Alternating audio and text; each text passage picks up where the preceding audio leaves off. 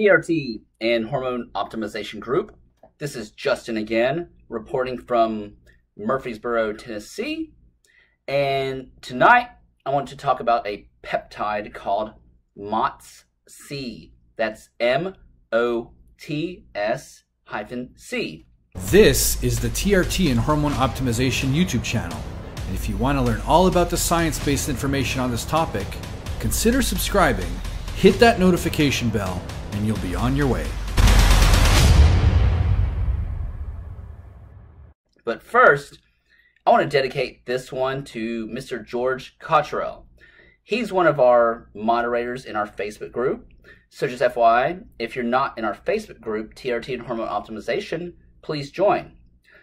Myself and all the other providers are in there, and we'll be more than happy to answer any questions for y'all.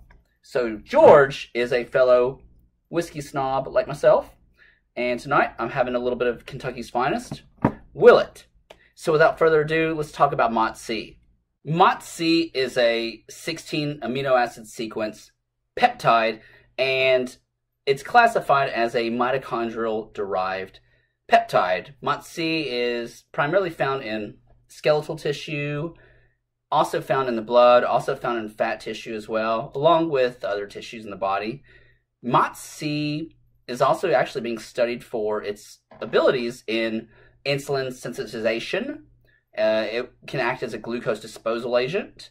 It can increase cellular survival and it seemed to be studied and implicated in weight loss.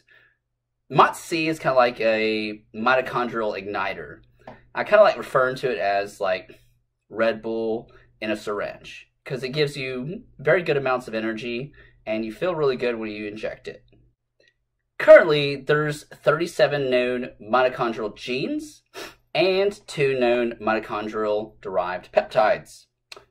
One is humanin and the other peptide is, you guessed it, it's MOTS-C. So what does MOTS-C do? It's kind of like an adaptogen for the mitochondria. So when the mitochondria is under stress, the peptide is utilized in upregulating the mitochondria's genome. So MOTS-C's mechanism action actually has a few mechanisms of action. I just mentioned that it does have insulin sensitization and glucose disposal activities. This is through its expression and activation of GLUT4, which helps promote muscular uptake of glucose along with glucose disposal.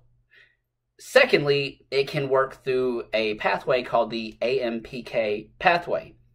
There's a commonly prescribed drug known as metformin, which is often used for metabolic syndrome, diabetes, type 2, uh, insulin resistance.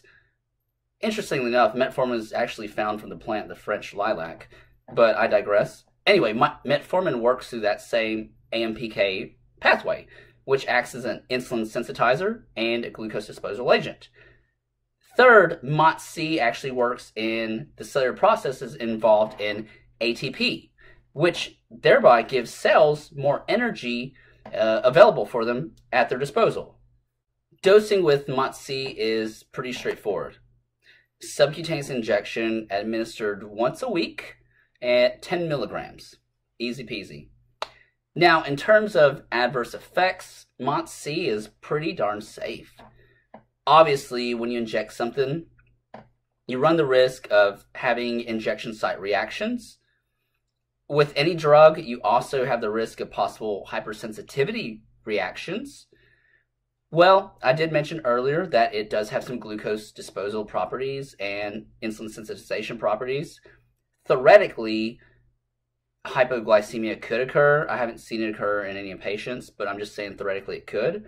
Also, it does give you good amounts of energy. So, insomnia is a possible adverse effect of MOTS-C.